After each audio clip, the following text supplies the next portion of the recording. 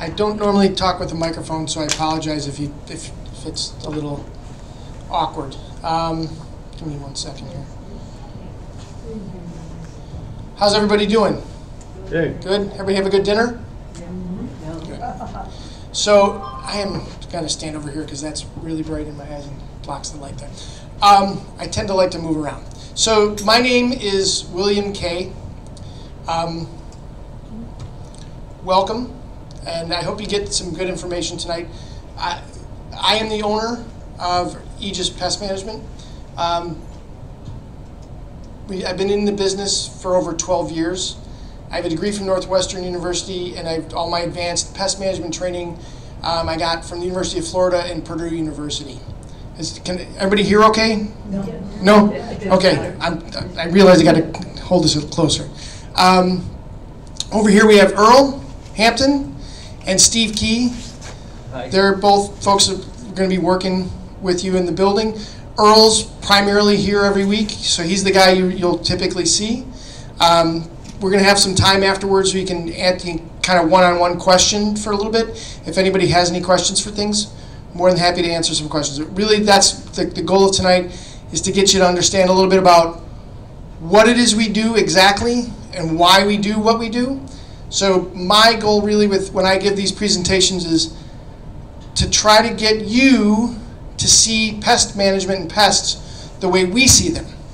Because if you if you understand what it is that we do and why we're doing it, you have you tend to have a little bit more patience and you understand um, the nature of the problem and why maybe because sometimes there's problems that just they don't go away like that and we got to work the problem and sometimes knowing a little bit more allows you to give us information that's a little bit more helpful as we work through processes okay um, we just to give it a little bit of background my experience i used to live over at park tower um, we I got into the business because I got a bed bug dog, and we started doing inspections there. And I got really frustrated with the pest control companies who did the treatment. So I went and got my pest control license, and I started working problems with with primarily bed bugs. And then other buildings got to know me, and they started asking me to do do work in that building. And so we, we've grown the business over the last ten years primarily exclusively, not, not entirely, but mostly working mul- large multi-residential buildings, which, as you'll see as I talk, they present a unique problem. So if you come from a single-family home, and you're like, well, we had ants and they got rid of it. When you have pest problems in a larger building, you have to come, you have to take into consideration all the surrounding apartments and all the, and the, and the structure and how electrical lines are run and pipes run and those types of things in order to be effective in the job. Okay? So that's our experience is almost exclusively working difficult pest control problems in large buildings. We usually don't get called in until several other people have failed. So, and, and the one thing about that, it tends to mean that the problems that we're inheriting are difficult and they take time to resolve. So, um, so tonight's agenda, we're going to talk, I'm just going to kind of cover some of the common pests that we see when we're working the buildings that we work in, particularly in Chicago. It's not all of them, it's not an exhaustive list, but it's kind of like the, the, the, the, the biggest ones that, that we see 90% of the time, maybe more than that. I'm going to talk a little bit about our approach on how we, we handle pest control, how we approach problems, how we resolve problems, and then give you an opportunity to ask us some questions. Every, sound good to everybody? Okay. Okay, well, I want to ask, wait till afterwards, but I'll, I'll let you, what's up? I just would like to know, are you new in this building? Yes, Thank you. we've been about a little over a month now, I think. Okay, thank Two you. months, two months. But we, yeah. That's a whole nother discussion. Um, So, one thing to consider when you're talking about pests, whether it's cockroaches or ants or mice, is every living creature essentially needs the same things. They need food, they need water, and they need shelter. When you look at pest control from that standpoint of like, how, what do these things need and how are they getting it? We have a, we have a way of approaching it so that we can see what they're doing and how they're doing it, and that can affect what we do. Okay? So first of all, we're just going to kind of go into some quick, some of the, the, the things that we typically see that are more nuisance pests. Um, these are gnats, types of gnats that we typically see. Fungus gnats. Fungus gnats typically, if you have houseplants and you're overwatering them and you have fungus in your soil, you'll get fungus gnats. And sometimes people misconstrue those with drain flies or fruit flies. But if, let's say, if you have a plant and you're seeing flies around it, probably a fungus gnat. Okay? We need to see these things in order to identify it, but fungus gnats can be tricky for us sometimes because we don't always see them. You might see them after you water your plants and then never again, but that's what we, we those are those are something that we don't see them very often when we see them. You usually typically see them around plants. Um, drain flies, drain flies live in your drains. They usually live off of um, fungus and mold and things that are living in your drains. So one of the things when you're dealing with drain flies, if you want to prevent them, keep your drains cleaned. Don't just use bleach. Use some type of uh, cleaner that has enzymes that eats away at the at the uh, the mold and so forth that's in there. Again, if you take away their food, you take away their ability to thrive. If you can take away one of those three things, we have you can you can deal with pest control issues sometimes without spraying any pesticides. And that's our the ultimate goal is to try to help you live without those types of things in your home. Okay, and then the, one of the other most common things that we see is fruit flies. You get these, you pick up a banana or an orange from the grocery store, you bring it home, you got your fruit sitting in a bowl on the counter, and you start seeing flies. They can migrate to your garbage, they can migrate to dirty dishes. So when it comes to fruit flies, the best thing that you can do before anything we even get involved is clean everything. Clean your sink, clean your garbage can, make sure you don't have any dirty dishes out, make sure you, don't have any fruit or vegetables out, any organic material that's aging or decaying, fruit flies live on it. And if we come in and you got fruit flies, the first thing we're going to tell you to do is clean out your garbage can, get rid of the fruit, get rid of the dirty dishes. Okay?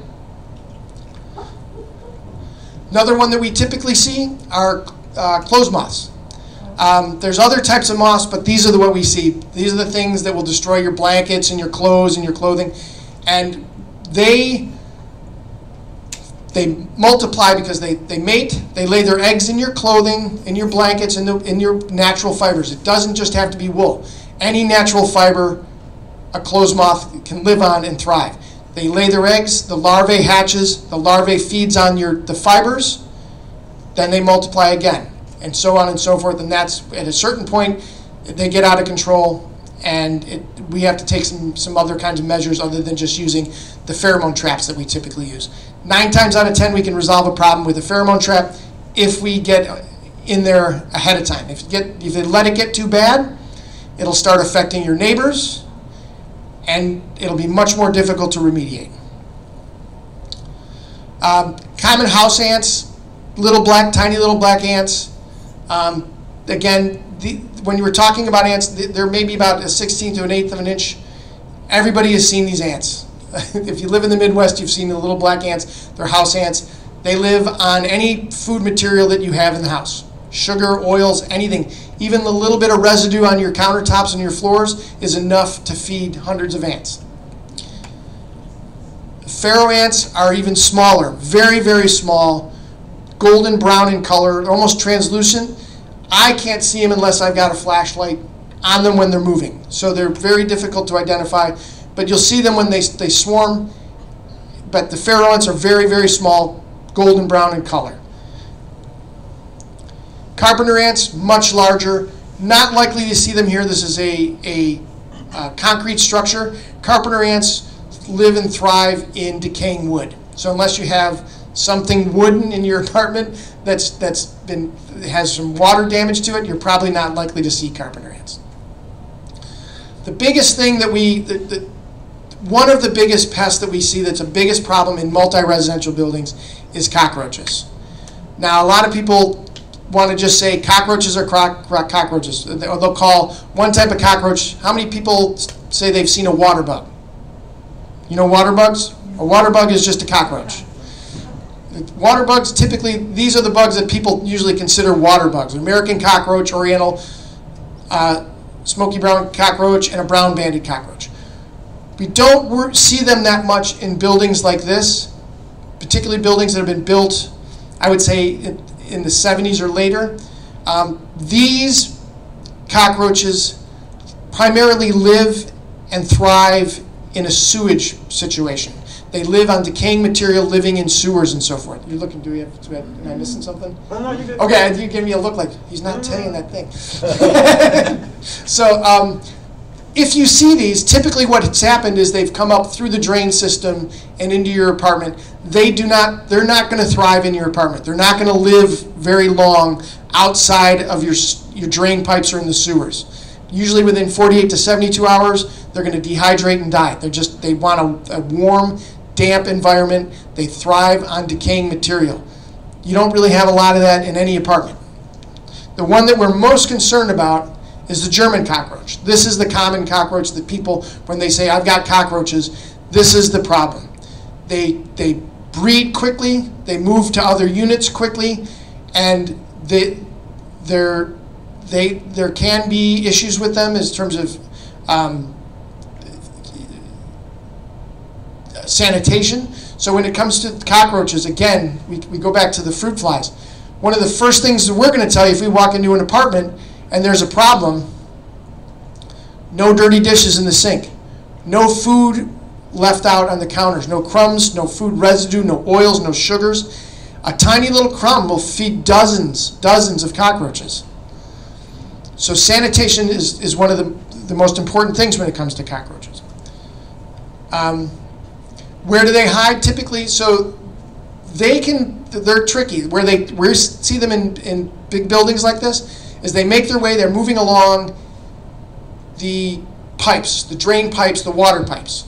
That's why you typically see them in kitchens a lot of times. They, they make their way in and they, they harborage a lot in wall voids behind the walls. So like if your, your drain pipe goes in the wall, they might be behind there.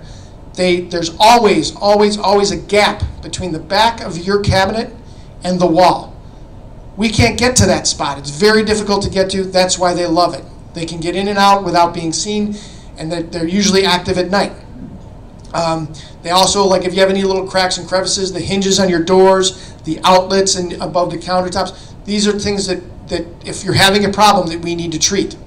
Okay? Um, there's three ways to help prevent minimize risk of a cockroach infestation. Clean, clean, and clean. The cleaner you are, the less food that they have available to them. Again, we're going back to those three things that, that every pest needs. Food, water, and shelter. Shelter, there's nothing we can do about it. Pests find ways to shelter in your home. That's what they're really good at, and that's why they're a problem. That's why we have a job. But we can control their access to water. You can control their access to water. You can control their access to food by making sure that your kitchens and your bathrooms don't have things that they can feed on. That means clean counters, no dirty dishes in the sink. Make sure the sink is dry at the end of the night and you put a cap on it. They can't get, to, like a lot of people think, oh, they're coming out of the drains, they're living in the drains. No, they're going in the drains to drink water. So if you cap that drain, you eliminate their access to water. If you clean your countertops and put away all your, your dirty dishes, you eliminate their access to food. So then when we come in and do our job, it's the, our ability to, to remediate the problem quickly is a lot, the chances of that happening are a lot better. Okay? Do not self treat your apartment.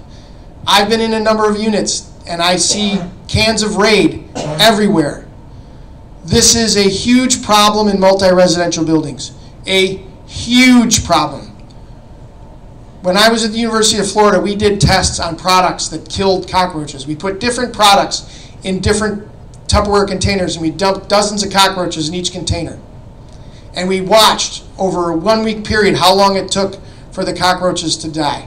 The baits that we used, all the cockroaches dead in under an hour. All the sprays that we used, dead in half a day. All the ones with over the counter products, none of those cockroaches ever died. They sat in those containers all week long. You know what that when you spray Raid what it does do? It it's repellent in nature. So if you spray it here, all those cockroaches are there. Guess where they're going? To your neighbor. Okay. Do not self-treat pest problems. Contact the office. Let them know you think you have a problem. We'll get you on the schedule and we'll get you taken care of. Okay? Don't spray anything. If you have raid in your home now, throw it out. It's it's worse than useless. It's actually more it, more of a problem than you, than it's actually solving. Okay. The other now this can be a touchy subject because bed bugs, people have a perception of bed bugs is like I oh I'm clean I shouldn't have bed bugs I don't it's it's it's there's a stigma to it. There's three things that draw a bed bug to you, and there's three things that draw a mosquito to you. It's the same things. Your body heat, your pheromones, and the CO2 that you give off. Nobody goes into a backyard and says, "Oh, I've got mosquitoes. I'm so embarrassed." Bed bugs are it's the same mechanism that draws them to you as the mosquitoes. These things have been around now in buildings like this, not just this building. I can take you up and down Sheridan Road. There's not one building that hasn't had at least some problem with, with bed bugs. And I can guarantee you, I bet my life savings that almost all of them have had a major issue at some point and had a difficulty resolving it. These, in my experience, these things come and go. They surge. There's, I can, I can talk for two hours on the why and where bed bugs and why you get bed bugs. I'm telling you, I've seen them everywhere. I've been in single room occupancy hotels on the west side of Chicago, not a single bed bug. I've been in $10 million penthouse condominiums, and they've got bed bugs. They do not care how clean, how wealthy you are, how big your apartment is. They don't care. They need one thing. They need to, just like a mosquito, they need to feed on your blood. They need a blood meal to survive. They need food, water, and harborage. They get their food and water from your blood, and they live in the tiniest things in your apartment. They don't just live on beds. They live they can live on anything. So when you go back to your apartment tonight, stand in your living room, look at everything that you have out. Clock radio, a bookcase, a chair, a picture frame. I can give you a list of hundreds of items long of where we've found bed bugs. Okay? They, they, they're, they're a problem because they're engineered to live symbiotically with human beings. There's nothing you've done wrong because you have bed bugs. Now, if you know you have bed bugs and you try to self-treat, that's maybe then you've done something wrong. If you know you have bed bugs and you've not reported it in a timely manner, then you've done something wrong. You need to be proactive about identifying it and letting us know. We will, I've had a couple questions. We will be starting our canines coming through and sweeping through the building quarterly. We're going to be doing a little bit differently. Where you had them here for one week, they come in for one week and then they're gone for two months. We're going to be here every week. So if something pops up in an area where we're not scheduled to inspect, we can check it. So if you have it, if you think you might have bed bugs, let the office know and we'll get a dog there quickly. And the goal is to get is to keep them from moving from unit to unit. Okay? What's that? Could you explain a little bit about the dog? Yeah. So the dogs, you guys have had dog, you've had the canine. So does everybody understand what the dog's job is? Sniff it out. Sniff it. But how many bugs do you think we train the dogs to smell? Bed bugs. A thousand? You don't need a dog to find a thousand. You'll see it yourself. When we train our dogs, we train them to find. We have little vials, and inside those vials, there's like the cap's got a hole in it, and we put a little mesh top on there so they can't get out. And then we'll do like if we're working in this room, if we're training in this room, we'll tape some of those vials like underneath the chairs or on the wall or behind a picture frame. We'll let them sit there for anywhere from like 20 minutes to 24 hours. The job's dog is to find those three bugs, one to three bugs. That's it. Sometimes, if there's a big infestation, sometimes those dogs will miss it because It's like going into a bakery and saying, go find the bread by the smell. It's everywhere. So don't panic if a dog alerts and you don't see bugs. Their job is to find them before you can see them. That's what their job is. Okay? We're going to be doing it weekly. We're going to be able to respond. The hope is that we're going to be able to respond to problems more quickly. Okay? Uh, just a quick thing. One of the reasons why there, there are a problem is that 30% of the population genetically predisposed not to react to bed bug bites. So for every 100 people in the building, 30 of them statistically won't react to bed bug bites. And that's sometimes some of the worst infestations because they don't see them, because they're really good at hiding until it's too late. And now, a lot of times what happens is a neighbor reports them because they've spread, and then we find them in the neighboring unit because the person doesn't know. It's not their fault. They're genetically predisposed to do that. But I can tell you we're really good at, at, at, at treating them. Really good at treating them. Um, don't, again, don't try to self treat bed bugs. You will make the problem far worse for yourself and for your neighbors. I just want to give a quick thing about bed bug life, life cycles because when it comes to identifying bed bugs, a bed bug, a baby bed bug, is tiny. It could be, it's maybe a quarter the size of a sesame seed. And if it hasn't fed yet, they're, they're translucent, they're incredibly hard to see. Um, the eggs, forget about trying to find the eggs. Unless, you, unless you're doing my job, unless it's super obvious, you're not going to see the bed bugs. I mean, you're not going to see the bed bug eggs. This picture gives you an idea of what happens. So you can see, like, when a, when a bed bug feeds, it can look almost like a totally different bug. So when you see pictures on the internet of a bed bug and then you see a bug and say, ah, oh, that's not a bed bug. If you squish a bug and it's got blood coming out of it, it's a bed bug, whether it looks like a bed bug or not to you. Okay?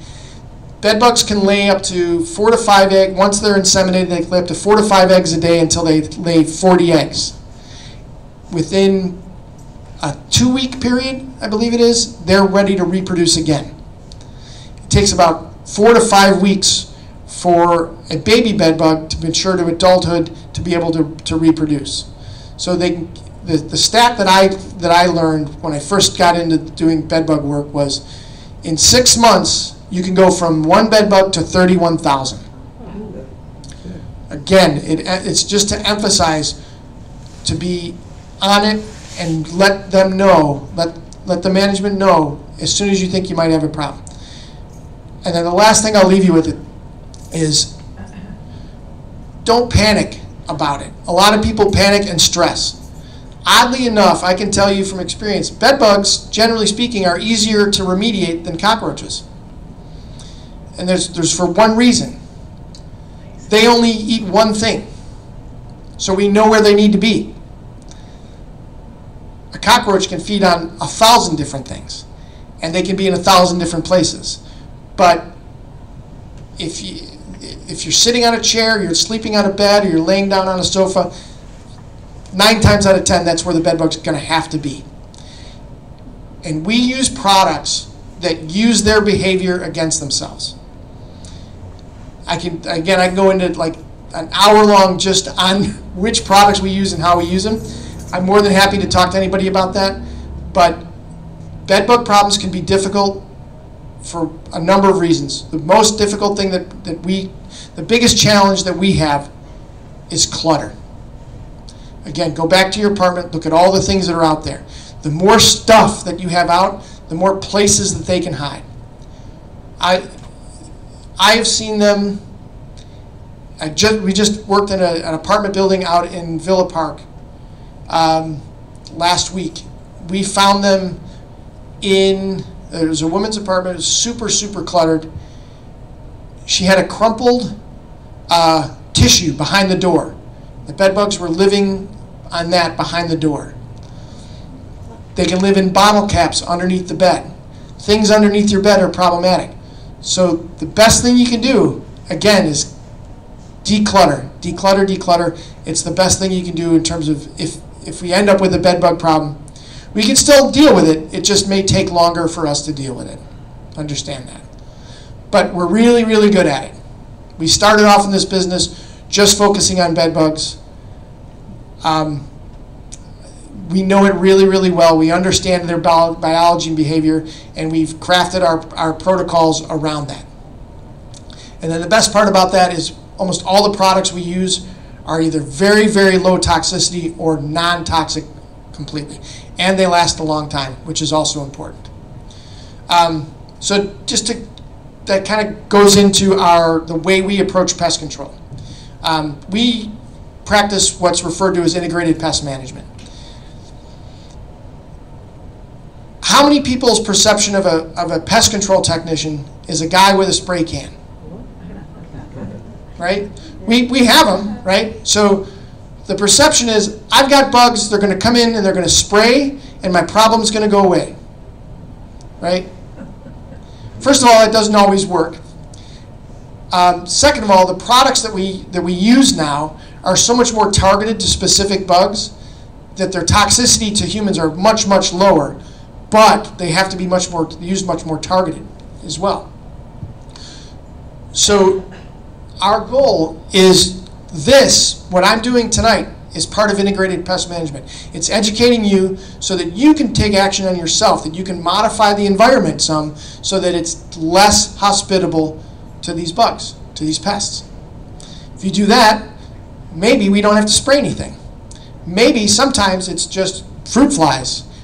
Clean up the garbage, get rid of the old fruit, and guess what? The problem goes away. You didn't have to spray a thing. You didn't have to be exposed to anything. That's what integrated pest management is. And that's we practice that. One of our one of the key components of that for us is to really understand what's going on in an environment, to look at what's going on. So that gets me to the three L's of pest control. This is something that I've come up with. It's we, we look, we listen, and we learn. We're going to inspect your apartment in detail to find if, if you're reporting a problem, to figure out where these things are harboring. Listen to you, so because sometimes just you telling us information, something you, even if it's innocuous, it may be like ah that makes sense. I've had these moments where people have told me information that they thought it was just this throwaway bit of information, and it's like, oh, we're not dealing with bed bugs, we're dealing with um, baby cockroaches. You know, it's it's interesting thing. Well, I see them in the kitchen. They're bed bugs. No, they're not bed bugs. They're baby cockroaches. So we have to we look at what your environment is. We listen to what you have to say, and most importantly, we need to learn the environment. And In a multi-residential building, that's a process. That takes time. We have to learn how things tend to move from unit to unit. You know, moving from an A unit to a B unit, a pest moving from moving from an A unit to B unit may be different from a G to a K unit. You know, so it, it because the structure and how those units are connect interconnected. All they're all interconnected. It's a matter of learning how this building works and wh- what problems we typically have. That's our job. The other thing is our job is to, to inform you what you can do to help the process be more effective. Okay? Oh, I think. Oops. I went all the way past my last slide. Um, sorry about that. Yeah. I hit the end button instead. Okay. Um, if you see a cockroach again, report it immediately. Prepare for your treatment. Earl can tell you, we go in to treat, I've got cockroaches. Nobody's emptied anything underneath the countertops. If they give you notice that we're coming, empty everything out from underneath the, the kitchen sink and the bathroom sink. This allows us to get product behind the wall. Remember I said they can be behind the wall? This allows us to get product inside the wall voids. It's really important. It also lets us see what's going on up underneath your sink where there's food and water. Clear your countertops off because if we need to treat crevices and cracks and crevices up on your upper cabinets, we don't want anything on your cabinet, your on your your countertops. We need to be clear so we can see what's going on. We can see fecal stains. We can see activity that you may not see if there's a toaster there. Okay, so clear everything off if you can. I know housekeeping helps with this. We've had a couple issues, but at the very least, try to get the, the, the items from underneath your sinks cleared out. And then keep these areas clutter-free. Try not to leave your dirty dishes out. Try not to leave anything on the counter. Okay? That's really important when it comes to cockroaches. If you see a bed bug, report it immediately.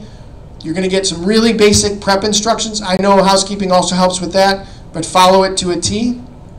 And then be patient and allow us to work the process.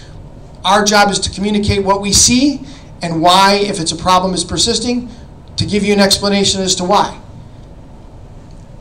Sometimes, even though we have protocols, sometimes we have to vary from those protocols for a specific reason. That's for us to identify. But the other thing is to communicate to you why it may not be working out as quickly as we'd like. So just, we just ask for you to have some patience on that. And again, going back to bedbugs, clutter is the enemy. Try to declutter as best you can. Sanitation and decluttering, we can eliminate a lot of problems or minimize a lot of problems just with that alone. All right, I, I think I've talked enough. Let's see. Yeah, pretty good on timing. Um, and so now we, uh, we can take some questions from anybody. Does anybody have any questions? You had your back there. You had your, your, your hand up first.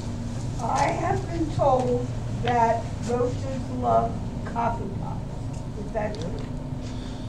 Cock, uh, cockroaches love anything that will give them food or water. Um, and coffee pots, especially coffee pots with coffee grounds in them, you know, I go into an apartment and I can smell the coffee that's been there for a couple hours, right? So imagine a, you have to think about these, these creatures. They have to find food via scent. You know, the antennae is what they're using to, to detect these things. If you had to, if the only way you can find food is by scent, your scent would be really good. So if you, as a human being, can smell something that attracts a cockroach, sure enough, they can. And so coffee is very pungent. Coffee makers also provide a harborage if you have a severe infestation. I've seen them hiding up inside of those things. But any food, any kind of product like that, is a problem. Not just coffee exclusively. Could you repeat back the questions? Oh, the question is that co- was Not, that, not this one necessarily, but Oh, yeah. come up. yeah. Uh, in the purple shirt, yeah, Oh, yeah. um, one of the earlier things you showed were these tiny little ants, yes. which I think is what I have some uh, problems with. Um, I keep things fairly sanitary, but I have a cat, Mm-hmm. and um, I noticed um, they, they found the cat food bowl because you know they live on Yeah. Um, they're very tiny. Um, um, the only other time I had them is when I had guests over and we had pizza and we just put it in the sink and we're doing other stuff and came back. where they come from? I'm not sure where they're coming from. Yeah. I've managed to keep them down. Um, I use scotch tape and got them all. Yeah. Don't spray. No, I Beca- didn't spray. I used Yeah. scotch tape. Ants. So the ants that I showed are only like three of the most common ones. There's hundreds of ants. Well, these are really Yeah. tiny. I wasn't sure what they were. We need to take a look at them. Work like sometimes we got to take them back from a for, in Well, a I- magnifying I glass. managed to keep what I've done, um, is I have a large, um, kind of a, a bowl filled with water, and then I have the catfish in the middle of that, and that seems to have, Okay. let- let the cat eat, but not have to. That's a smart, So do- that's smart. Yeah, but. But he's louder. also saying don't don't treat yourself. If you're finding something in your apartment, the number trying- one We thing. were trying to talk about this, but there was no, uh, proof about these ants. Uh, At least I made. If you if you can catch them with a piece of tape, save them so then we can identify 'em. Yeah. A note about ants. So yeah, don't try to self-treat. or Don't try to self-remediate. Go ahead, Earl. Well, this is just to remove them. Ghost ants. Earl believes those are ghost. Here, there's one of these here. They, they do seem to Are be these the dark. ghost? So let me let me explain something about ants. There's only one way to kill ants, and that's to kill the queens. So if you have a colony of ants, the, the ants that are producing more ants are not walking around on your counter. They're they're hidden somewhere. Let me let me finish. So the only way to kill queens is to get poison to them. That's why we use baits. If you spray a surface with Raid, they won't eat bait from that surface, and you've taken that tool out of our our, our toolbox. They're, they're frustrating because you have to get bait into the, the worker ants, they have to bring it up the food chain to the queen. That's how you get, that's how you affect the colony. Well, I think what I was uh, trying to convey here is that I have no idea where they came from. Because uh, it's very seldom I'll see, I'll, sometimes I'll see an individual. Yep. But I haven't gotten these things since I put the catfish in the water. So I'm, I'm not attracting them, but I don't have any idea where they came from or how they got to my place. So oddly, We're, yeah, the unit we're number. seeing uh, a lot of ant activity throughout the building. Um, As I explained to a, what, what unit number are you? Twenty-one K. That's to go, well, I see. Twenty-one. Have I, have we met? I don't think. I don't think so. Okay, so there are, there are several, several units in the building that are having issues with ants. And, um, Broadcast There are several units in the building that are having issues with ants. Um, and it's just gonna take us to get into those units. So, and the reason why I ask, cause I met, have I met you yet? There are several units we just have not gotten into yet. Um, there are a few units that I've treated two, three times in a three-week period, in a two or three-week period, and they are seeing a decline in their ant activity. So, 21K, we'll put you on the list, and I'll see you Friday. Okay, but the thing is, if, if I'm not, I'm trying to not have any food out, so Right. it's very seldom that I'll see one. And when I do, I kill it right away. So we have a, you know, mean, So, so we have a, we have a trick that we use when we, when there's a persistent problem.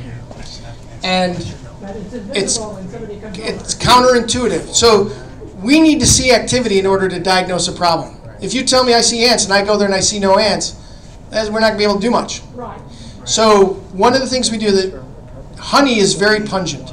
If you put even just like a little dollop of honey on the table, you can smell it, right? As soon as you open up the honey, you- so the ants love honey. So if you say, I'm seeing ants on the counter or on the floor, in the kitchen or in the bathroom, when you know we're coming in that day,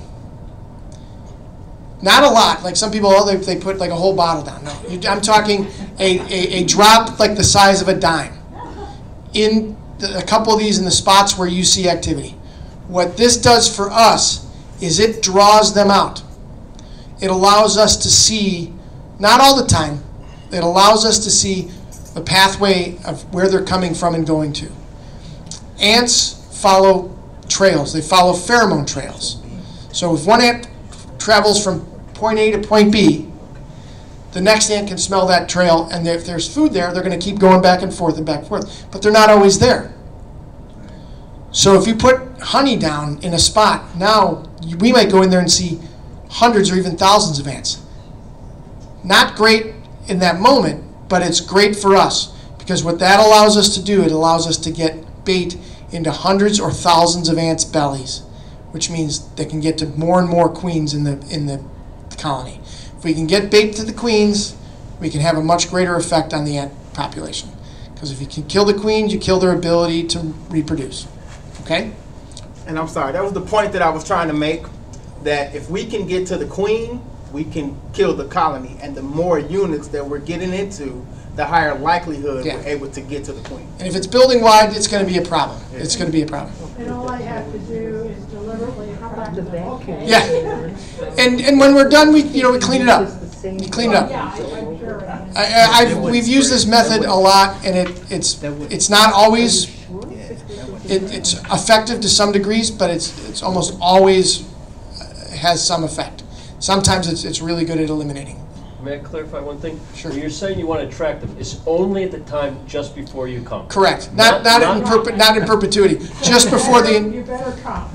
yeah. So make sure you know you're on the list for that day. Okay. Okay? Don't just put it, you can call down and say, Am I on the list? Yes. And timing is a good thing because if they know about it and you put it out, you know, you may put it out and by the time we get there, so we want to make sure you're, well, you may get, we may get there and we don't get there in time and they've already fed all the honey and they've gone back. So we want to make sure we get there, not right away, but so, like within an hour or two before, after you put it down. So it'll be a coordination. Yeah, if you if you put it down and you see tons of it right away, and you know that, you know, Earl gets here sometime around ten a.m. on Friday. So I wouldn't put it down until 10 a.m. If you put it down and you see activity right away, I would call them and they'll they'll get a hold of him and he'll get there right away. Okay? I I have confidence that you would get there right away. Yeah. I called. Any other questions? Yes, ma'am. Uh, If you have an animal, I, I have a cat, Mm-hmm. and wouldn't bed bugs be in the cat's fur? Nope. No. Repeat the question, please. The, the, the question is if they have pets, and would the, would the, would the bed bugs be on your pets? So there is a guy, uh, an entomologist out of University of Florida named Phil Koehler. Phil early on did a ton of research on bed bug behavior and activity, and one of the things they, they did is they brought in all these trailers, and they set up these trailers like apartments, and they infested them in different ways with bed bugs. They made graduate students sleep in them so they could see what would happen. So they, but one of the things they did is they, they put, they set up a trailer filled with bed bugs, it looked like a little one-room apartment, and then they introduced pets, dogs, cats, mice, things like that. And then they pulled them out and they looked for bed bugs on them. What they found is unless they're absolutely they won't go to your pets. Bed bugs, they're looking for human pheromone. They're looking for human CO2. They're looking for human body heat. It's they're another experiment that they did is they looked at um, what attracts bed bugs besides like the CO2 and your body heat. And the reason they find out about pheromones is they they took they made the graduate students wear like jeans, and then they took they wore them for like two days, and then they took the jeans off, off. They cut like two inch discs out of the jeans, and they placed them in these giant petri dishes with like I don't know like twelve other discs from other jeans that weren't worn by anybody. So they had one one piece of cloth that was from clothing that was worn, and then about eleven or twelve other pieces of cloth that nobody wore. And then they dropped about two dozen bed bugs into that petri dish. All those bugs went to that disc from the clothing that was worn. They are attracted to human beings. There's no, there's nothing about a, a, a pheromones that your cat gives off or your dog gives off that's going to attract them.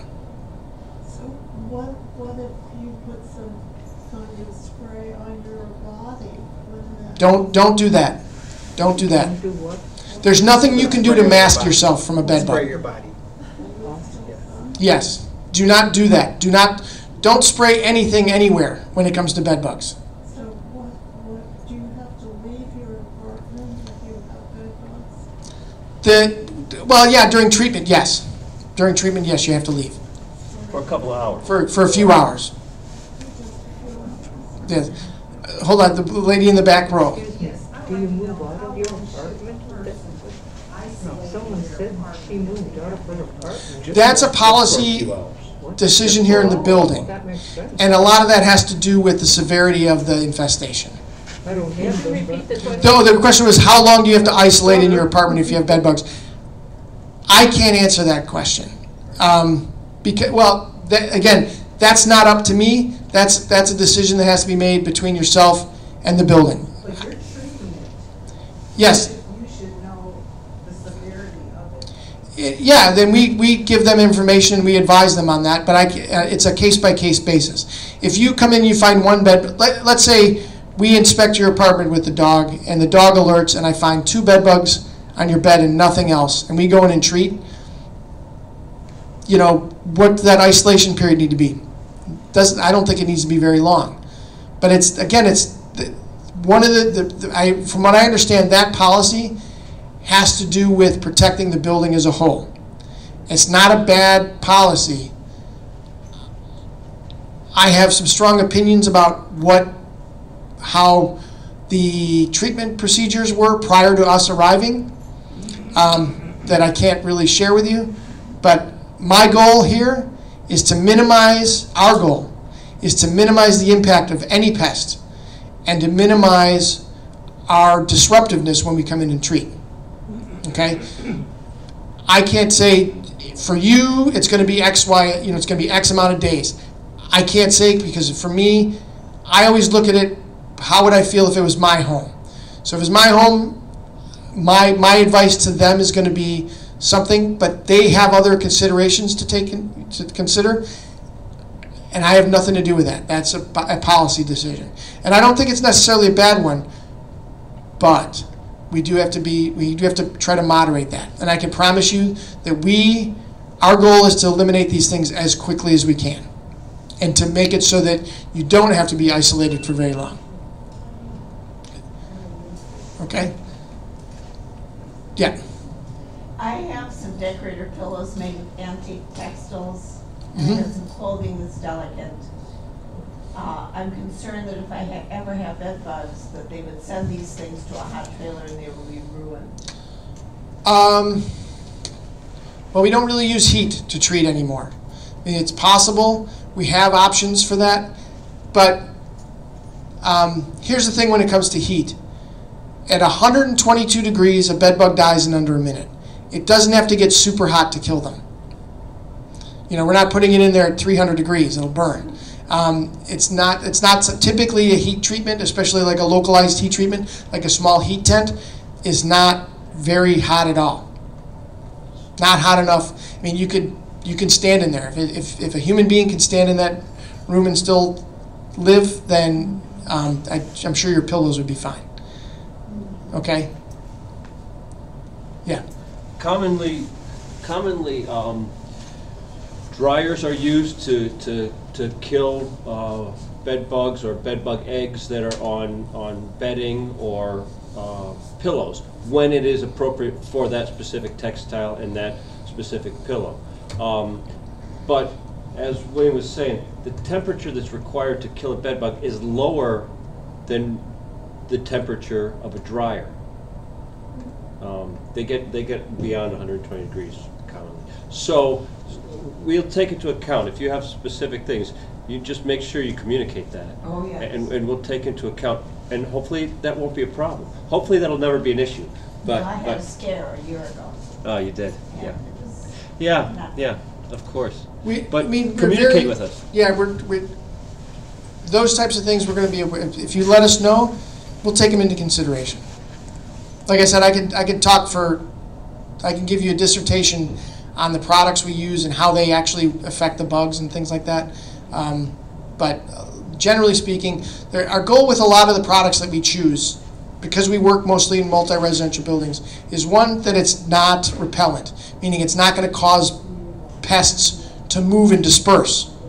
Right? That's that's goal number one. Let's try to keep it localized. Goal number two is to is to keep your exposure to any kind of uh, products to a minimum. That's why we use very very very small amounts, and we're still very successful with it. Okay. So a lot of times when you're talking about those types of things, you know, we we, we may have to be a little bit more creative, but we we've been doing it for almost 12 years now, 10, 12 years. So it's we we understand the problem pretty well. Okay, I think maybe one more question and then we're going to let them Yeah, wrap up for the night. th- right there. Can, uh, can a bed bug, uh, be on a person's clothing? Uh, and, and then can it, if they're, if it's on their clothing, can that person transmit it to other places? Yes. Repeat the question. Can can a bed bug be on a on another per, on a person, on their clothing or in their hair or on their shoes? Yes. Can is that how they get transferred? Frequently, yes. Frequently, yes. Um, in my experience, like I've been in some horrible situations as far as bed bugs are concerned, and I take measures to make sure I don't bring them home. And so far, 12 years, I've never brought any home. Um, the I can tell you that the severity of the infestation dictates your likelihood of, of picking up a bed bug. If you have a really, really bad bed bug infestation and there's lots of them on your sofa and lots of them on your bed and you're sitting in there and then you, you're going to go over to a friend's house, yeah, there's a, there's a, there's a chance, there's a better chance that you're going to bring a bed, you know, a little traveler with you. Um, if there's only two, probably not going to be a big a problem. So the, the sooner we can identify it, the sooner we can address it, it's better for everyone, not just for yourself. Okay? All right. I thank you for your patience. I hope this was, was informative to you. I know it's a little creepy. But um, our goal again is to, I, my saying with pest control is a very simple thing, is how many people think my job is to kill bugs? It's a what? Kill bugs. How many think my job is to kill bugs? Our job, Prevent. our job, in essence, is to make you feel more safe and comfortable in your home. That's what our job is. What we do to do that is we happen to be killing a lot of bugs, but that's our job is to make you feel comfortable. So sometimes that means we got to talk to you, sometimes we got to explain things to you, but that's our job. Okay? We're going to strive to do that. We appreciate your time this evening, and thank you for coming. Okay, Thank you. Fruit flies? Yeah, that was a part Are of, those- that was our typical. I know, go deep